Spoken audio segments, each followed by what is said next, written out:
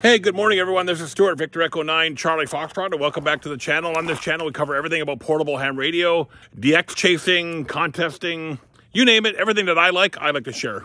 Anyway, I got an interesting uh, note, note this morning from a friend of mine in Ontario about contesting. Now, there's a lot of people uh, out there who frown upon contesters and, you know, say they got they gobble up all the bands and, you know, can't make it work for other people. And, and contests only happen maybe significant contest every few weeks in the amateur radio world. So I don't know where those uh, claims come that the contesters gobble up all the frequencies when, you know, five days out of the week, if it wasn't for POTA, the frequencies would be dead, deadly quiet. And there's a segment of the POTA population that frown upon co- contesters as well. I know a couple people that very vocal about anti-contesting, you know, but this interesting perspective really uh, opened my eyes about the benefits of contesting. You know, contesting, sure, you can look at it and say, you know, it's a bunch of guys getting out there making very fast exchanges of no relevance and but I look at it opposite, and this article actually opened up my eyes to it a bit more. So, contesters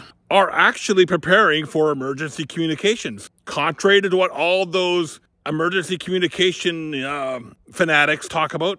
I don't look at ham radio for emergency communication, but that's just me. It can be used for it, but I rather trust a professional than a guy running around with a hand handheld on his hip with a yellow vest on. That's just me, though. But uh, contesters can actually be used to help with emergency communications. And here's why. Because contesting teaches us or practices our skills to make rapid communications and copy very sensitive, or not sensitive, but uh, quick information.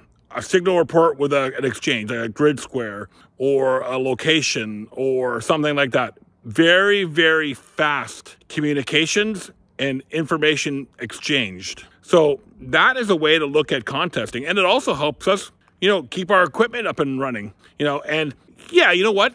There's contesters that go out and do portable contesting in the field. There's contesters that, you know, work out of their home QTH like I do with a hex beam antenna and big antenna arrays. And there's contesters who, you know, work out of their car. But I, I that's a very interesting perspective that contesters how uh, can be actually a good way to practice emergency communications. Very fast uh, reports of information into very far reaching areas. One of the things I love about contesting, because there is contest that hit almost every geographic region in this world. Unlike some of the uh, portable ham radio uh, programs that are very limited in scope, contesting, especially for me here in New Brunswick, I just finished working, I, fi- I just finished or almost finished working the French contest this weekend it, it, enables me to work with ham radio operators in France, exchange information across a, a wide different uh, distance, 4,000 or so kilometers, and exchange information with people that don't necessarily speak English as a native language.